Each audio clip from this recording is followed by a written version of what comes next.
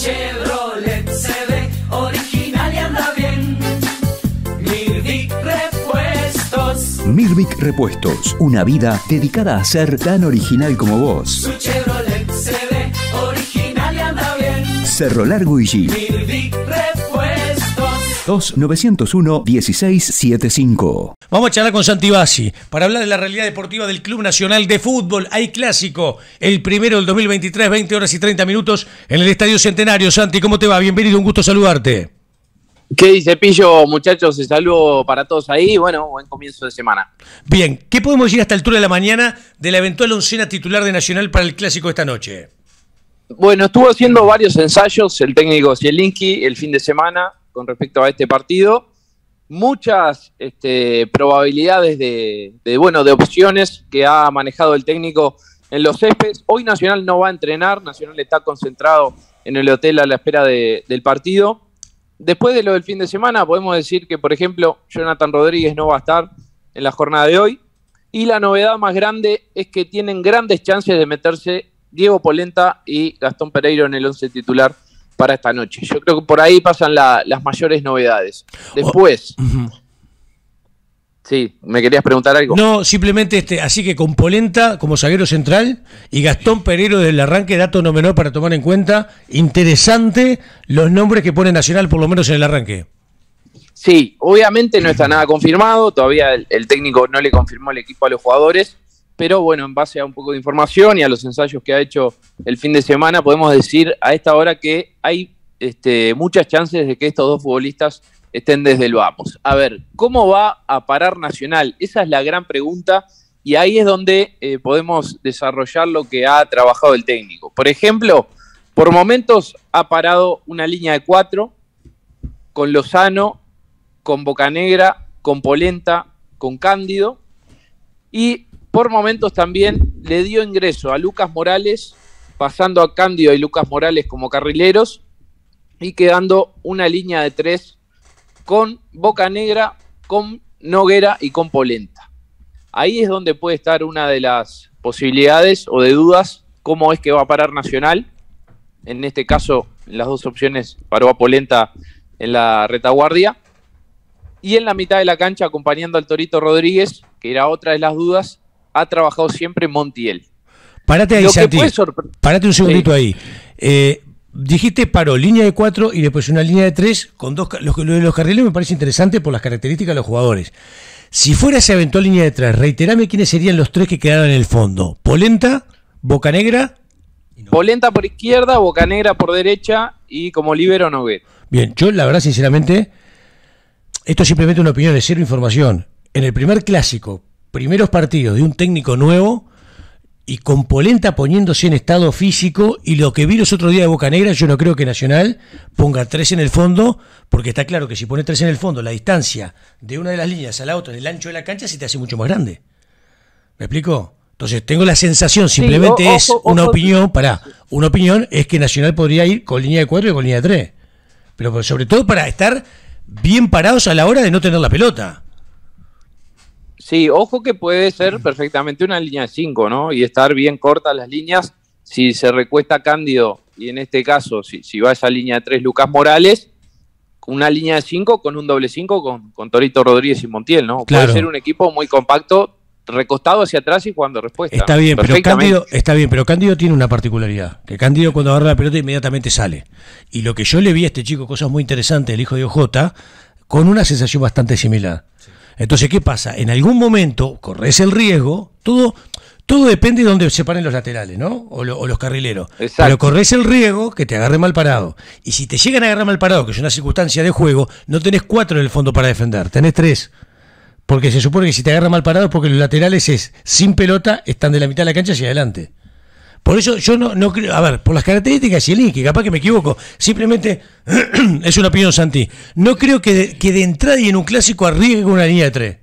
Yo que yo entiendo, entiendo que cuando no tiene la pelota va a ser una línea de cinco. Pero por momentos, si tenés la pelota y perdés la pelota y te hacen dos toques y te llegan este, a, tu, a tu última zona, seguramente te agarren mal parado. Entonces, Comparto, Santi, yo no creo que juegue con línea de tres. Puede haber sido una prueba, puede ver que es un funcionamiento que le puede dar resultado, pero para mí me parece que para el clásico jugar con línea de tres es medio arriesgado.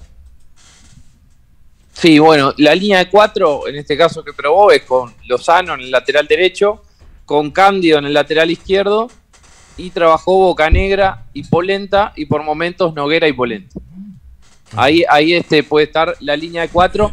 Ahora, esto es la información, ¿no? En cuanto a la opinión, yo no sé si es más, más te da más garantías en defensa esta línea de cuatro con Cándido de lateral, con Noguera y Polenta, o Bocanegra y Polenta en la saga sin fútbol, que una línea de tres más. Me parece la línea de tres, hasta te diría con más este con más seguridad.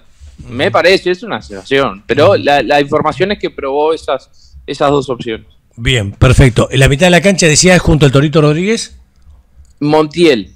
Se ha, se ha trabajado. Jonathan Rodríguez está lejos desde el punto de vista físico, este, por eso no va a estar en la jornada de hoy. Hay que ver si le da para meterse en el banco de suplentes, pero bueno, se está apuntando, incluso ya hubo alguna charla con el jugador de, de, bueno, de poder mejorar el, el tema físico para estar este, al 100% de cara a lo que se viene, que es la actividad oficial. Claro, Santi, está Bueno, claro que el jugador no, no venía arrastrando ninguna lesión.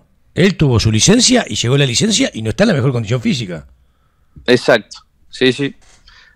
Yo, No, la verdad, lesión no, no tuvo, lo que, sinceram- vino, sí. lo que vino bastante cargado, digamos. Sí, yo lo que digo es que hoy, con la realidad que tenemos, que sigan pasando estas cosas en un fútbol profesional y en un equipo profesional, siendo jugador de un grande, como en este caso Nacional, la verdad sinceramente no se entiende.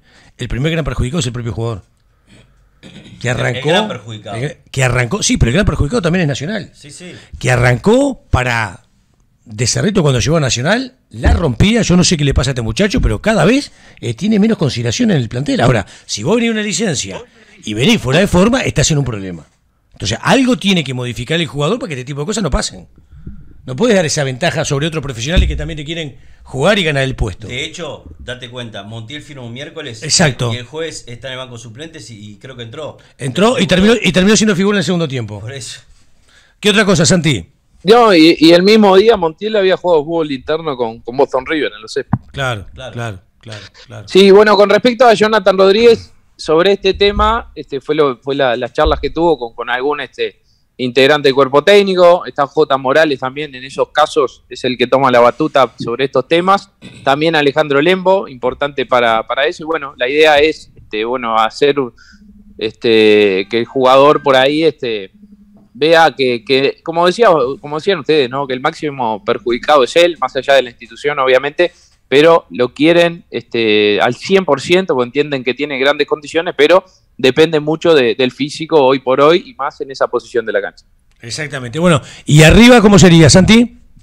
Bueno, arriba, si se confirma lo de lo de Pereiro, iría Pereiro por un lado, iría Fagundes, Gigliotti, y hay que ver qué pasa si se mete esa bala, ¿no? Acá lo que, lo que puede sorprender es la salida de tres.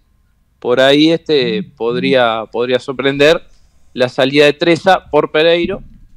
Y en este caso que, que se pueda meter esa bala. Y bueno, todo depende también cómo para en el fondo, ¿no? Si, si para una línea de cuatro, va a haber un lugar más para que ingrese esa bala. Si para una línea de cinco, va a haber un lugar menos. Y bueno, ahí estaría Fagundes por un poco más tirado hacia un costado, Pereiro tirado hacia el otro costado y, y este y arriba Gigliotti, obviamente. Mirá lo que nos pone Maxi Navarro acá, declaraciones de Zielinski, no hace mucho, dice, en conferencia de prensa el técnico tricolor, post primer amistoso, dijo algo así como, estamos enfocados en lo físico antes que el juego, porque vamos a decir la verdad, los jugadores no hacen nada de licencia, jaja, durísimo pero real. Esto nos pone Maxi Novaro, haciendo referencia un poco justamente al tema de, Jonathan Rodríguez. Santi, pasemos en limpio, obviamente con determinadas dudas en determinados puestos. Para vos, en función de la información, ¿cuál sería el equipo? Bueno, si va con, con línea de cuatro, Rochete en el arco, Lozano, la duda por ahí, Noguera o Bocanegra, junto a Polenta y Cándido. En la mitad de la cancha, Montiel, el Torito Rodríguez, Pereiro y Zavala por los costados, Fagundes y Gigliotti. Esa podría ser una opción. Y bueno, la, otra opción sería el ingreso de Lucas Morales, en este caso eh, pasando una línea de cinco y este con, con la de mitad de cancha hacia adelante sería más o menos similar, pero bueno, son la- las opciones que, que paró el técnico, que seguramente después del almuerzo, como decía Nacional, no va a entrenar hoy, no está entrenando. Y después del almuerzo, ahí sí, el técnico va, va a tener una charla con el plantel donde le va a confirmar el equipo en las primeras horas de la tarde.